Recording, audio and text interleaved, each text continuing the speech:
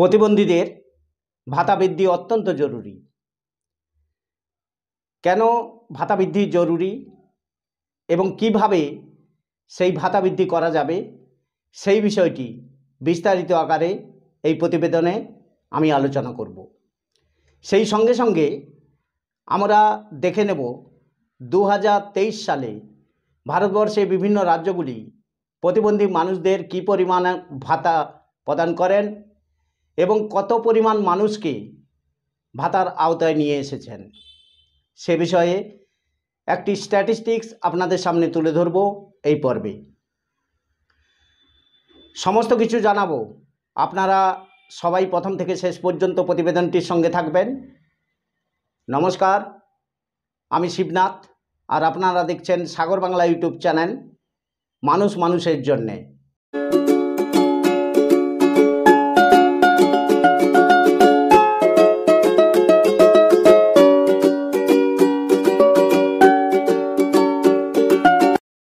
প্রিয় দর্শক বন্ধুরা, প্রতিবন্ধী মানুষদের জন্যে কেন্দ্রীয় সরকার এবং বিভিন্ন রাজ্য সরকারের বিভিন্ন ধরনের প্রকল্প আছে। এই সব প্রকল্পের মধ্যে একটি অত্যন্ত গুরুত্বপূর্ণ প্রকল্প হল প্রতিবন্ধী পেনশন বা প্রতিবন্ধী ভাতা। দেশের সব রাজ্যেই এই প্রকল্পটি কিন্তু রূপায়িত হয়েছে। তবে বিভিন্ন রাজ্যে বিভিন্নভাবে, বিভিন্ন মাত্রায় এই প্রকল্পটি কিন্তু বাস্তবায়িত হয়েছে। এই মাসিক ভাতা প্রতিবন্ধীদের কাছে কিন্তু অত্যন্ত গুরুত্বপূর্ণ। কারণ কি জানেন? প্রতিবন্ধীদের এই ভাতা সরাসরি কাজে আসে, অর্থাৎ ডাইরেক্ট বেনিফিট পান প্রতিবন্ধীরা এই ভাতা থেকে। এই ভাতা প্রতিবন্ধীদের দৈনন্দিন জীবনে কিছুটা স্বাচ্ছন্দ্য, কিছুটা আনন্দ এবং অর্থনৈতিক স্বাধীনতা নিয়ে আসে বলে আমরা মনে করি সাগর বাংলা চ্যানেলের পক্ষ থেকে। এছাড়া এই ভাতা প্রতিবন্ধীদের আত্মবিশ্বাস ও বাড়ায়। জীবন সম্পর্কে তাদের একটা পজিটিভ দৃষ্টিভঙ্গি গড়ে তুলতে সাহায্য করে এই ভাতা। রাজ্যের এক বিশাল সংখ্যক প্রতিবন্ধী মানুষদের মধ্যে এখনও শিক্ষা ও কর্মসংস্থানের সুযোগ সেভাবে গড়ে ওঠেনি। শিক্ষা এবং কর্মসংস্থান থেকে তারা এখনও কিন্তু বঞ্চিত। বিশাল সংখ্যক প্রতিবন্ধী মানুষ নিম্নবিত্ত ও দারিদ্র সীমার নিচে রয়েছেন এবং পিতামাতার উপর নির্ভরশীল। পিতামাতা বৃদ্ধ হলে এইসব প্রতিবন্ধীর জীবনে অনিশ্চয়তা বহুলাংশে বেড়ে যায়। আর আমরা সাগর বাংলা চ্যানেলের পক্ষ থেকে মনে করি, এই ভাতা, এই অনিশ্চয়তা দূর করতে একটি উল্লেখযোগ্য গুরুত্বপূর্ণ ভূমিকা গ্রহণ করে। একটি সম্মানজনক ও সঠিক পরিমাণ ভাতা প্রতিবন্ধীদের জীবন অনেকটা কিন্তু পাল্টে দিতে পারে। যেমন, নতুন কিছু করে আর্থিক সচ্ছলতা বাড়ানোর পথে উদ্যোগী করে তুলতে পারে। স্বল্প সঞ্চয়ের মাধ্যমে ভবিষ্যতের আর্থিক নিরাপত্তা কিছুটা তৈরি করে দিতে পারে, এমনকি তাদের বিবাহিত জীবনের দিকেও নিয়ে যেতে পারে। অনেক প্রতিবন্ধী আজও শারীরিক এবং পারিবারিক অবহেলার শিকার। এই ভাতা তাদের পারিবারিক অবহেলার হাত থেকেও বাঁচাতে সাহায্য করতে পারে বলে আমরা সাগর বাংলা চ্যানেলের পক্ষ থেকে মনে করি।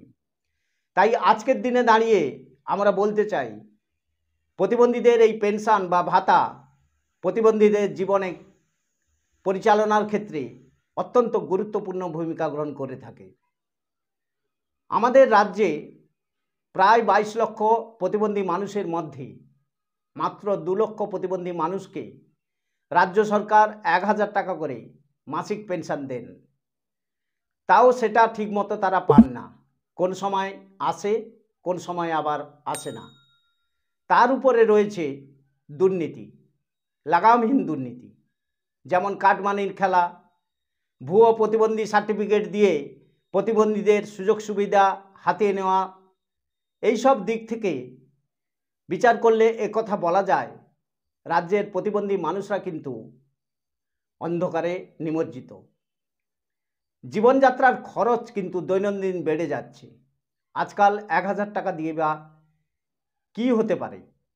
আপনারাই নিশ্চয়ই বিচার করতে পারছেন। প্রতিবন্ধী ভাতা বৃদ্ধি তাই অত্যন্ত জরুরি।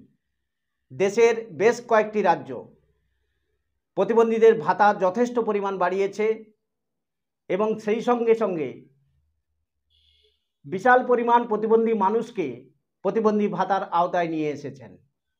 আমরা আজকের এই প্রতিবেদনে একটি স্ট্যাটিস্টিক্স দিয়ে আপনাদের পরিষ্কার করে দেখিয়ে দেব, ভারতবর্ষের কোন কোন রাজ্য কত করে প্রতিবন্ধী ভাতা দিচ্ছেন এবং কোন কোন রাজ্য কত পরিমাণ প্রতিবন্ধী মানুষকে এই ভাতার আওতায় নিয়ে এসেছে।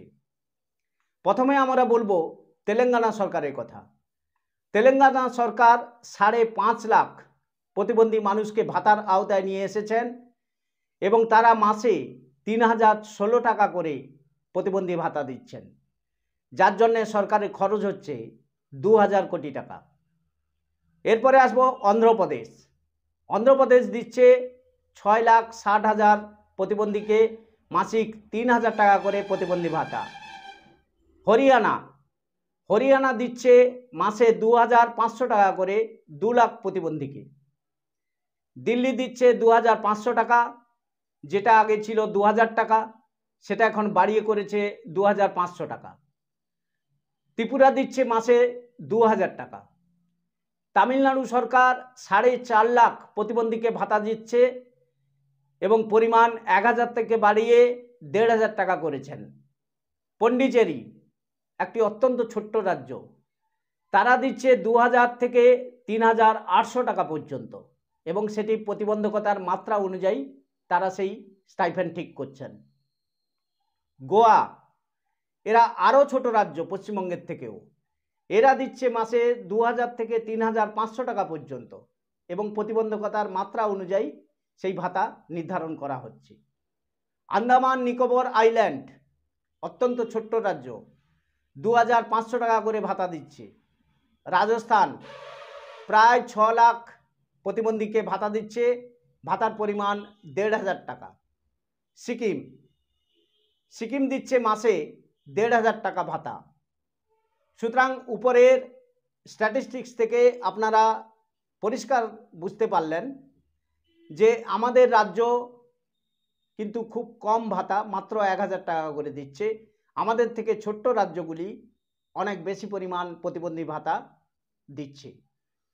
বেশ কয়েকটি রাজ্য যেখানে উল্লেখযোগ্যভাবে ভাতা বাড়াতে পেরেছে এবং অনেক বেশি সংখ্যক প্রতিবন্ধীকে ভাতার আওতায় নিয়ে আসতে পেরেছে, সেখানে পশ্চিমবঙ্গ কেন তা পারছে না?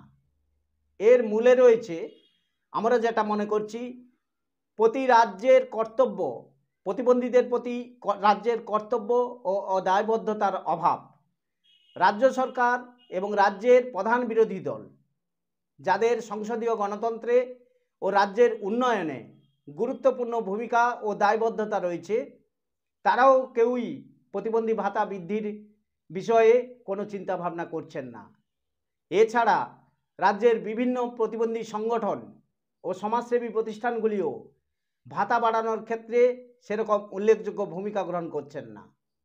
তাই এর জন্য জনমত তৈরি হওয়া কিন্তু একান্ত জরুরি। এবং এই জনমত তৈরির জন্য আমরা এই ছোট্ট চ্যানেলের মাধ্যমে সেই চেষ্টাটাই কিন্তু চালিয়ে যাচ্ছি। সংগঠিত জনমত তৈরি করে সরকারকে দিয়ে কাজ করিয়ে নেওয়া যায়, তার অনেক উদাহরণ কিন্তু আছে।